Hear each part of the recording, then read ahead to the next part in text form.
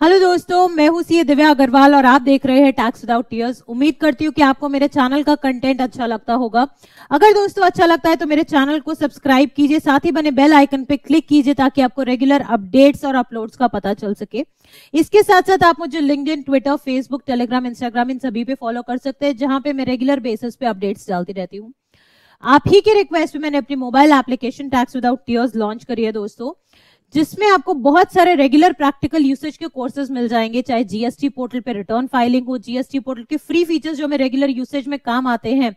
फिर उसके बाद e way bill e invoicing then आपका नोटिस के रिप्लाई या आईटीसी के कॉन्सेप्ट में जो चेंजेस है और उसकी जो कॉन्सेप्ट चाहे प्रैक्टिकल हो, चाहे थेरेटिकल हो, वो सारे कॉन्सेप्ट आपको मिल जाएँगे यहाँ पे। अपार्ट फ्रॉम दैट दोस्तों अब जो आज का टॉपिक है वो ये है कि 47 जीएसटी काउंसिल में बहुत सारे चेंजेस हुए, बहुत सारे नोटिफिकेशन आई, इतने सारे सर्कुलर्स आए। रोज मैं अभी कमेंट्स चेक करती हूँ तो कमेंट्स में मुझे ये मिलता है कि मैम इतने सारे चेंजेस आ गए हैं, क्या करें? तो आप ही के लिए मैं हर एक इंडिविजुअल टॉपिक पे शॉर्ट एंड सिंपल वीडियो में बनाती हूँ ताकि आपको वो चेंजेस समझ आ सके। उसी में से एक चेंज आता है दोस्तों फ़ूड ग्रेन्स के ऊपर बहुत ज़्यादा एक डिबेट चल रही है, एक क्लैरिटी नहीं है कि क्या चेंज आया और क्या नहीं आया है। अब दोस्तों चेंज ये है कि पहले हम लोग बोलते थे ब्रांडेड और अनब्रांडेड की फाइट थी। तो कहीं ना कहीं लूप होल्स बहुत सारे थे तो उन सब चीज़ों को एलिमिनेट करने के लिए ना गवर्नमेंट ने चेंज किया कि जो भी फ़ूड ग्रेन्स हैं उन पे जो एग्जेम्पन है आपको मिलेगी, लेकिन अगर वो प्री पैकेज्ड एंड लेबल्ड है तो नहीं मिलेगी। अब ये बातें लिखी कहाँ पे आइए देखते हैं।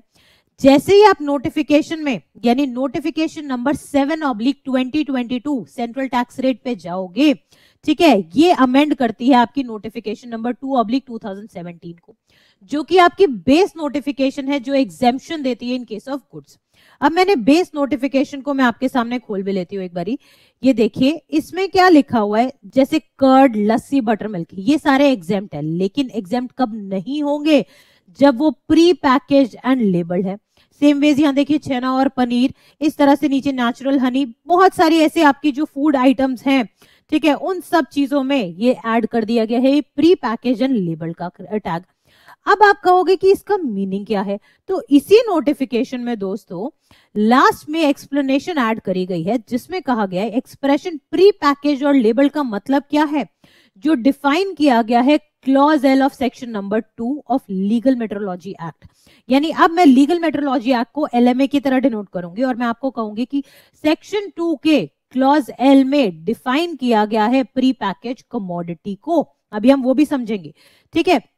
Where the package in which the commodity is pre-packed and label securely affixed एक लेबल आपके साथ लग जाता है उस प्रोडक्ट पे that is required to bear the declarations under the provisions of the legal metrology act and the rules made thereunder अब इसमें एक बारी हम लोग इस एक्ट को देख लेते हैं एक्ट में अभी हम सिर्फ़ एक बेसिक चीज़ देखेंगे कि भाई जो ये बोलता है pre package and pre package commodity इसका मीनिंग क्या है?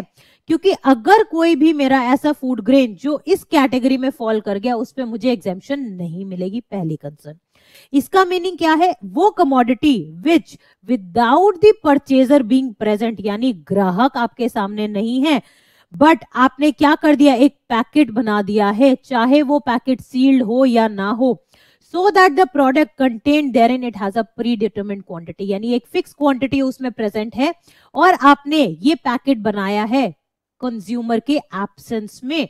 अब चाहे वो सील्ड हो या नहीं हो हमें उससे कोई फ़र्क नहीं पड़ता। तो इस तरह के फ़ूड ग्रेन जो ऐसे पैकेट्स में होंगे उन पे एग्जेम्पन नहीं मिलेगी।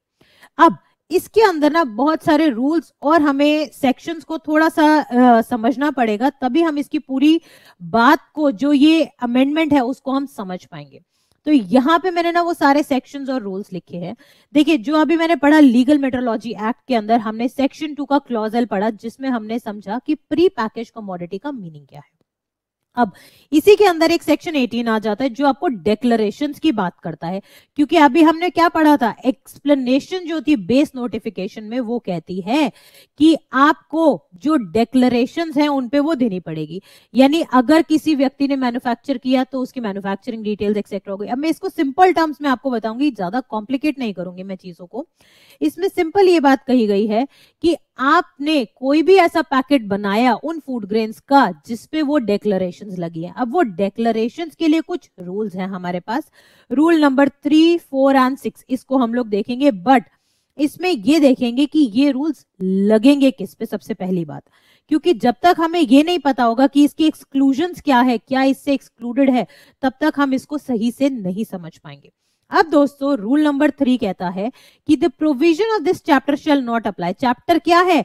रिटेल सेल के लिए जो बेसिकली है। इन्होंने क्या कहा? Packages of commodities containing the quantity of more than 25 KGs और 25 लीटर्स यानी 25 किलो या 25 लीटर से ऊपर की कोई भी आइटम आप पैक करते हो, यानी इतने की आप पैकेजिंग बनाते हो तो वो बाय डिफ़ॉल्ट आउट हो गया इससे।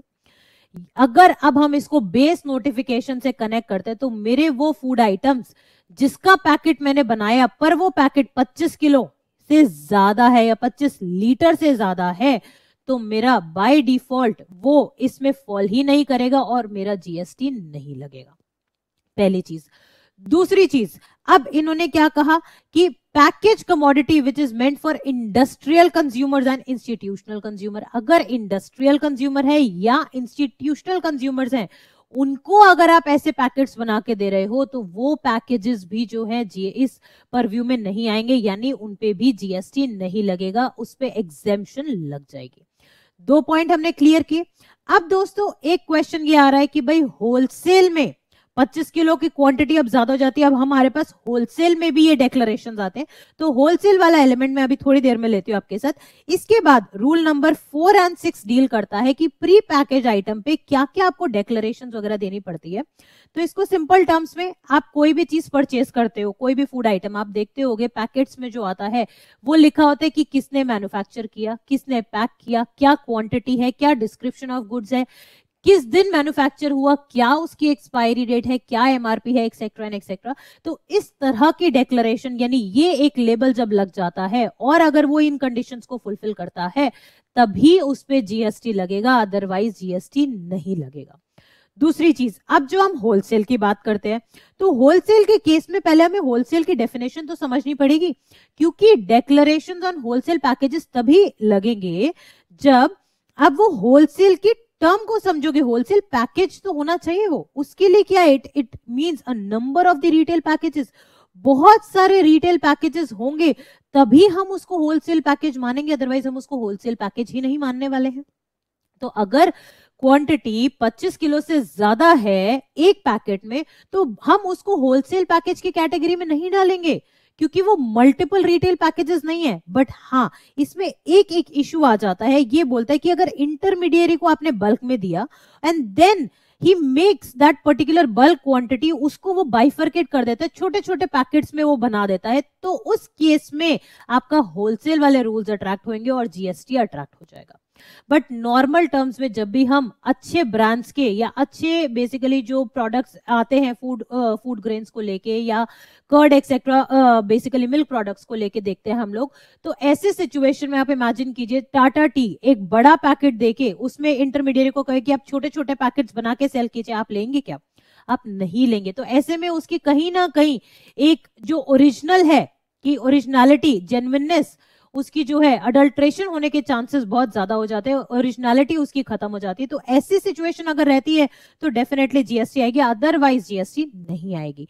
तो अब सिंपल अगर हम इसको कर देते हैं, बहुत सिंपल सी चीज़ आ जाती है कि पहली चीज़, आप प्री पैकेज और उसमें आते हैं हम लोग अगर तो मैं इसको आपको छोटा सा एक फ्लो चार्ट आपको बना के दे देती हूँ कि देखिए, कोई भी जो आपके फ़ूड ग्रेन्स हैं ठीक है फ़ूड ग्रेन्स अगर हमारी प्लेन पैकिंग है, उसमें हमने कोई लेबलिंग कोई डेक्लेरेशन एक्सेट्रा नहीं कर रखी है प्लेन है सब कुछ पैक तो उस पे आपका जीएसटी नहीं आएगा। प्लेन बैग्स या प्लेन पैक्स एक्सेट्रा आ जाते हैं तो जीएसटी नहीं आएगा।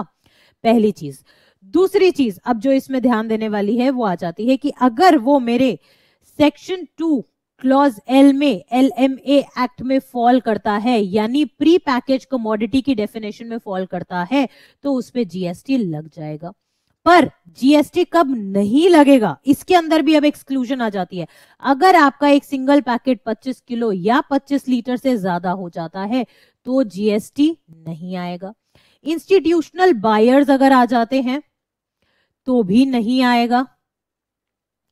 ठीक है? इंस्टीट्यूशनल बायर्स अगर आ जाते हैं जो हमने अभी पढ़ा तो भी जीएसटी नहीं आएगा।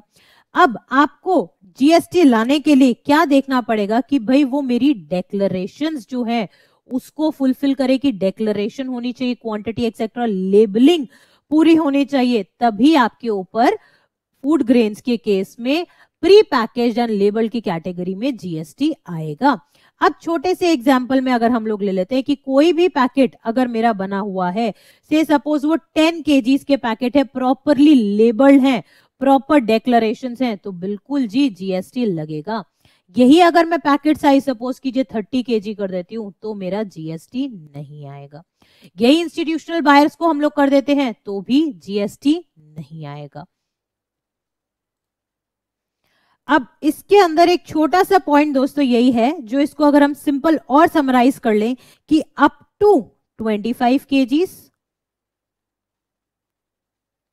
and then एक आपका आ जाता है greater than more than 25 five अब इसमें अगर वो आपका बेसिकली लेबल्ड है, ठीक है, या बेसिकली अगर मैं कहूँ पैकेज है प्रॉपर एज पर एलएमए ठीक है? पैकेजिंग हो रखी है प्रॉपर पैकेट्स यानी अगर हम इसको बोलते हैं पैकेट्स के तौर पे हमारे बने हुए हैं तो आपका यहाँ पे जीएसटी अट्रैक्ट हो जाएगा और यहाँ पे जीएसटी अट्रैक्ट नहीं होगा। ये अगर प्लेन पैकेट्स हैं प्लेन पैकेजेस हैं प्लेन बैग्स हैं, ठीक है, जिसमें ये कंडीशंस फॉलो नहीं होती हैं, जिसपे ये कंडीशन एप्लीकेबल नहीं होती तो ना इस केस में जीएसटी आएगा, ना ही इस केस में जीएसटी आएगा। आई होप अब जो ये फ़ूड ग्रेन्स को लेके हमें डाउट है, चाहे 25 किलो से ज़्यादा है, कम है होलसेल में या नहीं है, या पैक्ड है, या प्लेन बैग्स में है, वो अब मैंने आपको क्लियर किया होगा। कोई भी और डाउट है तो you can you are most welcome to write down all your issues and comments in the comment box I will take it up in the next videos for sure thank you so much friends and have a nice day